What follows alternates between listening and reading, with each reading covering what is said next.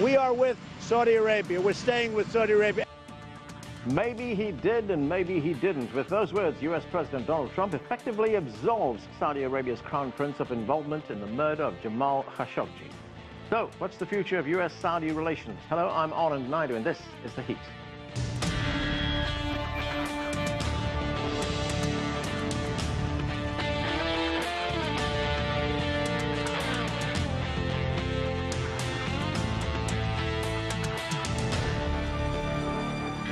U.S. President Donald Trump is siding with Saudi Arabia in the wake of reports the CIA has determined the Saudi crown prince was behind the killing of Saudi journalist Jamal Khashoggi.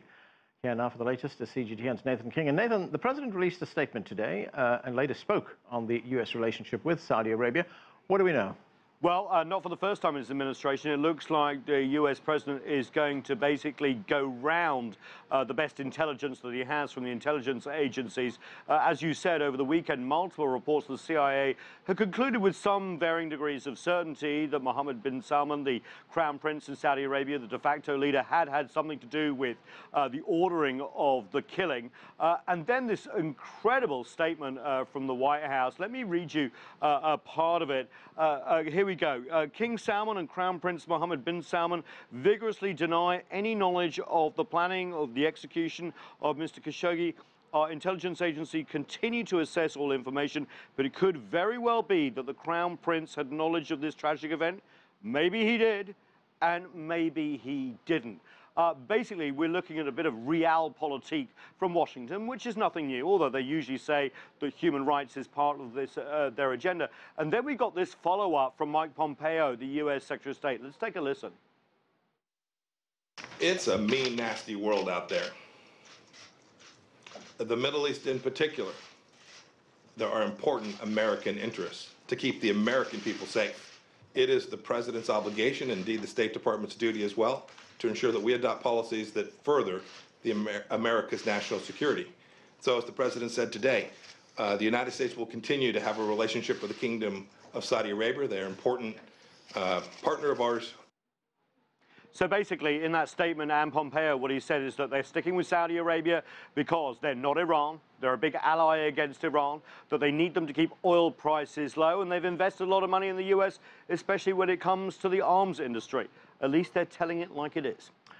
Nathan, the United States has effectively doubled down on its relationship mm -hmm. with Saudi now, hasn't it? Yeah.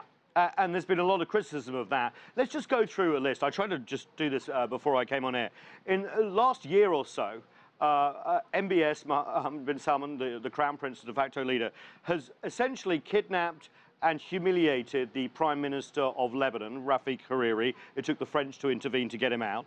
Uh, there was that shakedown of the Ritz, multiple sheikhs and princes, uh, basically, uh, uh we understand, tortured, and they had to pay up billions of dollars in the name of getting rid of uh, corruption. A lot of uh, friends of U.S. businesses there. There's been the isolation of Qatar, where the U.S. has a base, a naval base, which has pushed Qatar to more, towards the Iranians. We've had this horrible war in Yemen with all the civilian casualties and near starvation, which is backed, of course, by the Saudi-led coalition. And then the Khashoggi thing as well. And you have to answer the question, is this in the U.S.'s national interest? Of course, there's a strategic relationship with Saudi Arabia, but all this pushes against its interests in so many different ways.